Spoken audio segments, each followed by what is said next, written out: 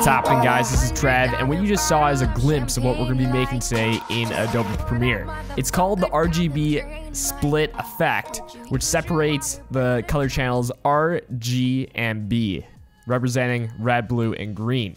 So basically what we're going to be doing here in Premiere is breaking our clip down here into three separate layers, and don't mind this adjustment layer to start things off here. But uh, let's just hop right into this tutorial and show you guys how it is done.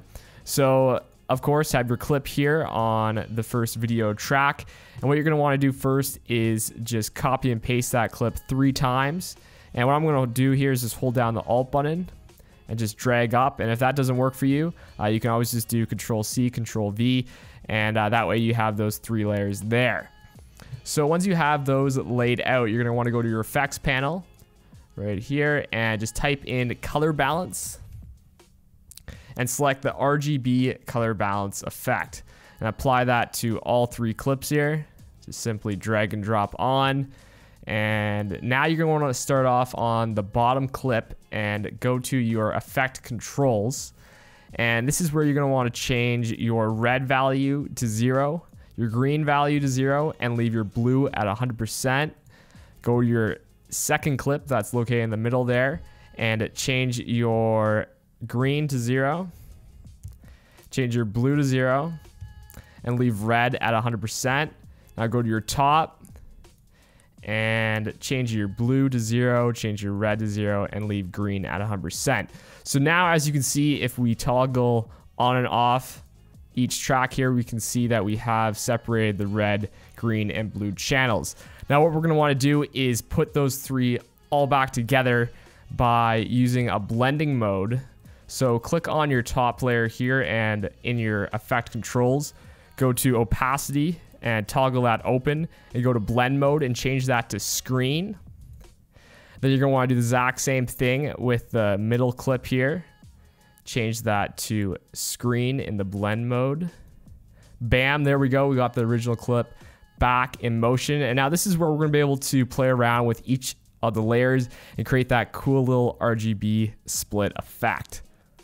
So what we're going to do now is just play around with our scale and position uh, parameters within the effect control panel. And what I'm going to do is just click on the middle clip here and just take down our scale to let's say 99%. And that way we can start to see the effect come into motion here if this my keyboard works. There we go. Um, as you can see here, we have a little bit of color fringing around her hair as well as we have a nice little teal border. Um, this is all I really like to do with this effect is just do it really, really minimally. As uh, a lot of people create these crazy glitch effects. I'm not so much into that. I like just creating simple, uh, kind of like unique things that catches your eye. So uh, that's pretty much it, guys. That's how you create that cool little RGB split effect. But what you can also do is just keyframe that and create it to be animated a bit. So let's say at the start here of our timeline, what you're going to want to do is go up to your scale and turn on your stopwatch, and that's going to put a keyframe down on uh, your effects panel here. And I'm going to be starting off at 99%. Then you're going to want to move the along the timeline here, and let's just say, let's go back up to 100%. And now we have a little animation of it being split, and it goes back to normal.